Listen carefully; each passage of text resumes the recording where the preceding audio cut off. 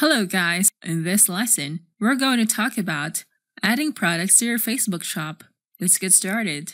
The products that you upload on Facebook shops can be similar to e-commerce websites. It shows a separate section on your Facebook page to showcase all the products that you are selling. This benefits consumers to browse all the products in one place. If you have more items that you are selling on your page and you haven't set up a Facebook shop yet, your followers, new page viewers, and potential customers will need to browse all the posts on your page to discover your products. If you have a Facebook shop, it will be easier for them to view all the products on your page. When you add items in your catalog, you can choose to add multiple items or add one item at a time. If you add one item, you will see this pop-up window to provide basic information about what you are selling. You can drag or drop an image or upload the file from your drive.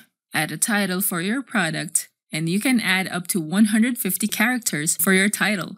Next, add a description for your product. Include any unique features which can help people understand the benefits of getting your product. If you have a website, such as an e-commerce website, where people can check out the product, then place it here. Set the currency and the price of the product. It is best to set the price a few dollars higher than what you are expecting your buyers to pay for the item. Then set that the item is on sale. Doing this will allow your customers to think that your product is on sale, and this will encourage them to purchase your discounted product.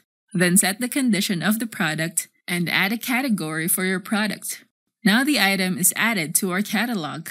Click this button to add more items. If you choose to add multiple items, you can upload items using three options. Options are manual, data feed, or pixel. If you have tons of products and you have stored them in a spreadsheet, you can upload it here. Then choose the file to upload. You can also schedule feed and set a feed or use Google Sheets to automatically add your inventory. Collections are a great way to group your products together. You can showcase your best sellers in your featured collection.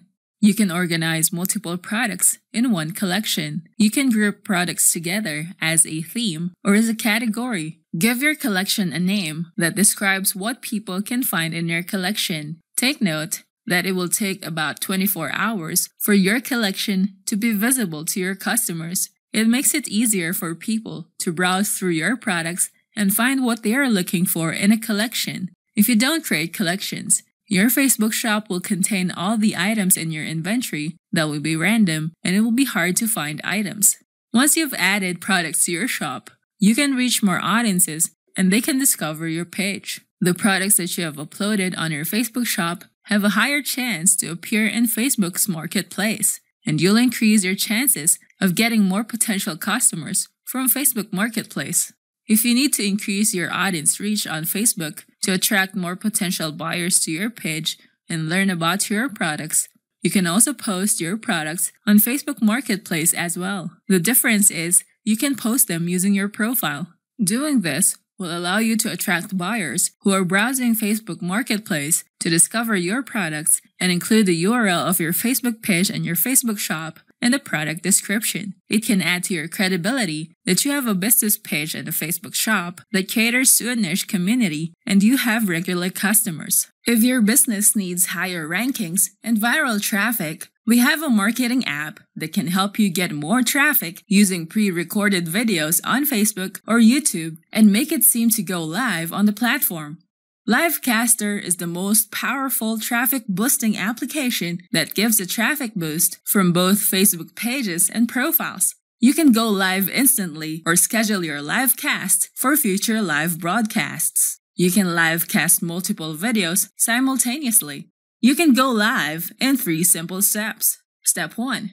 Connect Livecaster to any live streaming platform. Step 2. Add any video from your computer. Step 3. Then schedule or go live with one click.